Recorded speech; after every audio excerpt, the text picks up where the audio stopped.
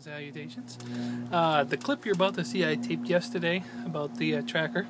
Um, a little update on that. Um, some of you might be wondering if I was going to do some more stuff. I found out about the windshield. Um, my insurance will not cover scratches, but they gave me a, a windshield replacement company here in town that probably can buff it out. So I got to get a price quote on that one. Um, I am going to be ordering some uh, vent guards for it um, as well, and uh, I've got some uh, air filters for the cabin air filters coming in. There's two filters. There's one underneath your hood, and then there's one inside, usually behind your glove box, that filters the air coming into your your vehicle. Well, mine doesn't have a filter in it. Somebody took it out, and when I opened up behind the glove box, man, it was nothing but dust and dirt in there, and all that's blowing in your face when you turn on the vents. So. I cleaned that all out as best I could, but I'm going to clean it better. But I've got some some some stuff coming for that, and I've uh, uh, you know got a few other things. So there will be some more Chevy Tracker updates, but I'm going to wait till I get a couple things in and then do a bigger one. But just wanted to give you a little uh, update on what was. Uh, uh, going on with the tracker. Just so you know, it is a beautiful day out here, but it is so warm. It's not a breath of air moving. Just sitting outside trying to get a little fresh air, but uh, I don't know how long I'm going to last. It's pretty warm out here. Gotta love Florida.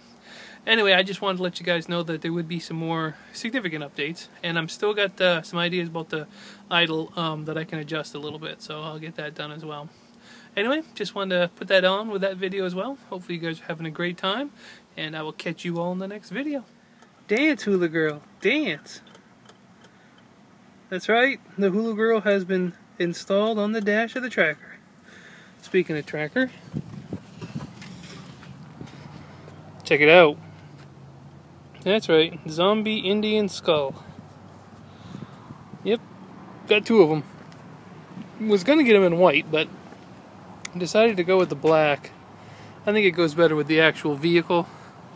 White, I think, would have, I don't know, I don't think it would have been as good, but eh, maybe that's just me. Down here to Publix, I just walked around it twice, a little over a mile, 19 minutes, trying to get back into my walking. I got a new program that lets me uh, keep track of stuff and it'll post it on Twitter and Facebook. Hopefully it did that. If you follow me on Facebook and Twitter, let me know if you saw that. But uh, yeah, got my graphics installed. Pretty happy about that. And the Hula Girl, which I think looks good on the dash. Yeah. So there you go.